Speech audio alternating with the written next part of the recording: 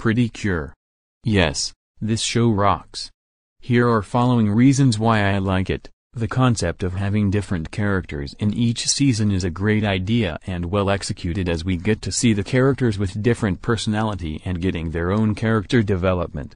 Not only there are different characters in each season, there are also different themes in each seasons as well which also, worked out well. Excellent and colorful animation especially for 2000 standards, the animation gets better and improves in later seasons, the art style is very appealing. The CGI animation used in some scenes like transformations and end credits look good and is a nice touch. The opening songs are very catchy to listen to, examples would include Smile Precure, Star Twinkle Precure, and Tropical, Rouge Precure. You may also want to keep listening to it just to prove how amazing the opening songs are. Amazing soundtrack. Each season soundtrack has a theme to match its season atmosphere. Example, Tropical Rouge. Pretty Cure having a tropical feeling on the soundtrack.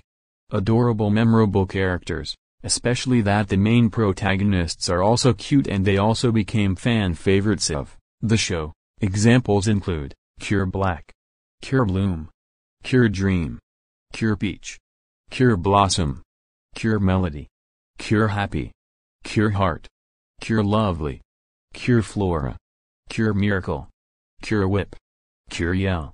Cure Star. Cure Grace. Cure Summer. Cure Precious. The battle scenes are very enjoyable and entertaining to watch, the battles get better as it progressed throughout each season. The transformation scenes are pretty cool to watch, many of them are unique, especially for the main protagonists. Amazing, wonderful, cute, likable and entertaining anime franchise.